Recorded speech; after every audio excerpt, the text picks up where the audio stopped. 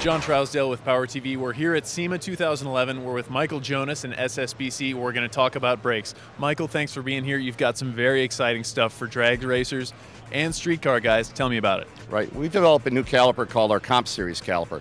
This particular caliper on there is a lightweight four piston caliper.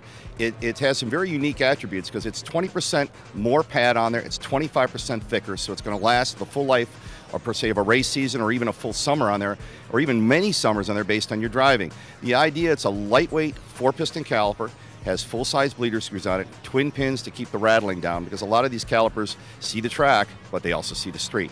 And these guys that are running the street cars, certainly the only thing they want to hear is their engine roaring, not the calipers vibrating. So for these guys who are going from the track to the street, you were saying that one of the advantages of these calipers is their size. That's correct. Yeah, these calipers are great because they work with the fit with the 15 inch skinnies, but also if a guy's got 15 by 7 or 15 by 8 wheels that he's used for the street, he can go ahead and swap his tires at the track real quick, drive home, knowing that these calipers have enough stopping power to go ahead and drive on the street as well as drive on the track. Now let's talk stopping power. There's a there's a weight range and a weight advantage to these calipers. Let's talk about that. That's correct. With any caliper on there, there's always a limitation. There's no perfect caliper, one size does all. And especially when you're going with smaller rotors on there, you really have to watch the weight of the vehicle. Typically, these calipers are designed for 3,500 pounds or less. Great for a street rod, great for a, a car that's per se going to do some drag racing and drive on the street. You know, they've lightened it up a little bit. And most of the smaller cars, per se, like a Camaro or a Nova or an early Mustang, are well under 3,500 pounds.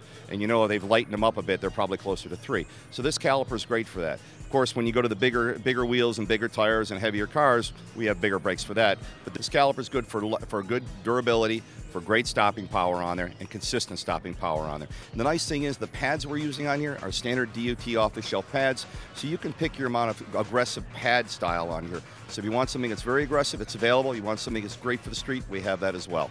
And the best part is this caliper is all made in the USA. So, Michael, it sounds like you've got a great array of products with a number of applications. If you want to learn more about these, you can check out ssbrakes.com. Michael, thanks for being here at SEMA 2011. Power TV.